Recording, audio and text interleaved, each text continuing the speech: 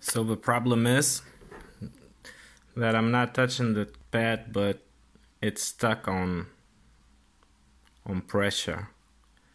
I tried to change the USB cable, tried it to uninstall the driver, but it still do the same. I even tried it on a different computer. It's the same. Uh, install the latest driver from from the site doesn't help.